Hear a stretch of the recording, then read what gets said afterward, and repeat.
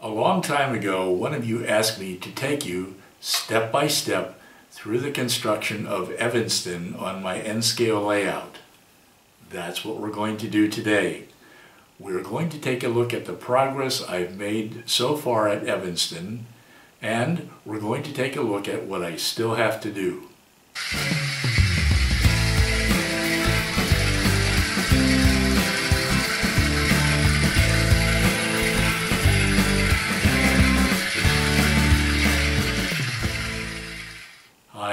Smith.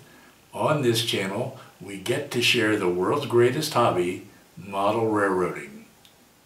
I'm surrounded by my N-scale Union Pacific Evanston subdivision layout, as you can see.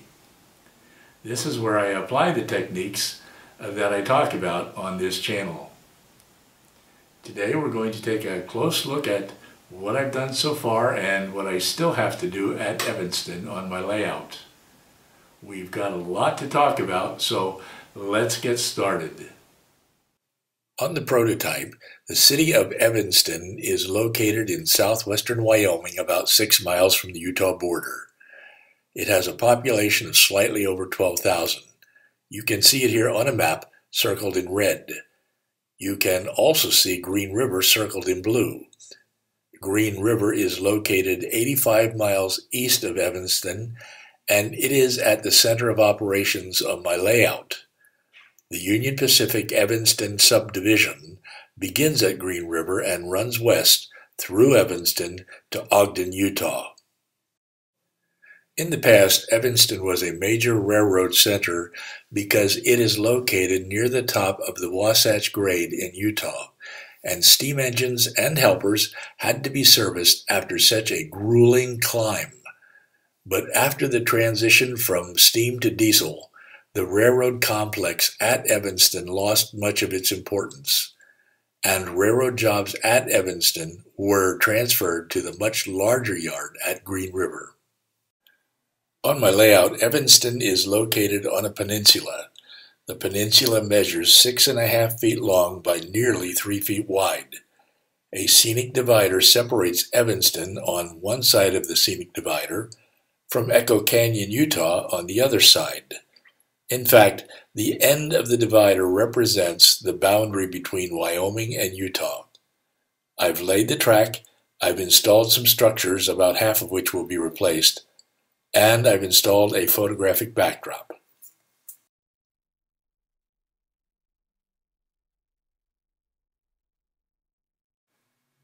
Underneath, a helix with a 2% grade takes westbound trains down to tracks representing Ogden, Utah in the staging yard. That's what I've done so far, which is very little. But let's talk about the things I still have to do. Let's talk about track, wiring, ballasting, structures, scenery, and operations. Two previous versions of Evanston were too small to be operationally interesting, so I extended the peninsula on which Evanston is located by 18 inches and drew up this third track plan. Then I reconstructed Evanston based on this track plan. Will this be my final version of the track work at Evanston?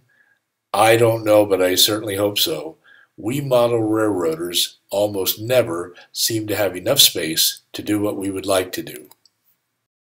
The track plan includes four spurs for the Union Tank Car Company, two industrial spurs, an interchange track used in conjunction with a Y to the Pocatello subdivision, and the Y itself leading to the Pocatello subdivision through a hole in the scenic divider. As you can see, the main line is double tracked, just like the prototype. I can use the two mainline tracks for running trains in opposite directions at the same time.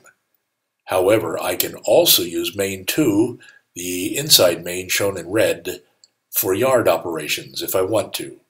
When I do that, main 1 handles both eastbound and westbound traffic. Alright, let's talk about wiring. Right now there is only one drop feeder providing current to all of the tracks in Evanston Yard. Naturally, I'm going to install drop feeders on every segment of track in the yard. I will do that when I'm absolutely sure that this is the final track arrangement for the yard. I use Kato terminal unijoiners for all of my drop feeders. The drop feeders connect to barrier strips under the layout, and in turn the barrier strips are connected to the bus wires. Just like with the wiring, I will ballast the track when I am absolutely sure that this is my final arrangement of track in the yard. I will need to operate the yard over a period of time to be sure that it is. As you can see, I've installed cork roadbed between the tracks before applying ballast to reduce the apparent height of the Kato Unitrack in the yard. I will need to paint the track and the cork roadbed a dark gray color before ballasting it. Right now I'm focused mostly on the structures at Evanston. Let's take a look at what I've done so far. First, the Union Tank Car Company. The UTCC on my layout is loosely based on the prototype at Evanston and is a very, very compressed version of it. The UTCC leases out tank cars and provides repair and maintenance for them. One of the two structures representing the UTCC, the red one, is a placeholder. I'm going to replace it with this kit. I will need to paint both buildings to match the color of the prototype. I've created two industries further back along the scenic divider. These are fictional and don't exist on the prototype. They exist on my layout to provide for some industrial switching. Now, let's talk about the former Union Pacific Railroad complex at Evanston. Major buildings in the complex include a roundhouse, a machine shop, and a power plant, all of which were built during the period 1912 to 1918. In the 1970s, the complex was deeded to the city of Evanston, except for the power plant, which is still owned by the Union Pacific. The city of Evanston is renovating these historical buildings and uses them for events such as model train shows. This is what the complex looks like so far on my layout. These are the kits I'm using for the railroad complex. First for the machine shop and for the roundhouse. Unfortunately, it doesn't look like I've got room for the power plant. And there is the former Union Pacific Depot or passenger station.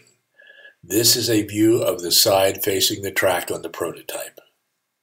And this is the side facing the street.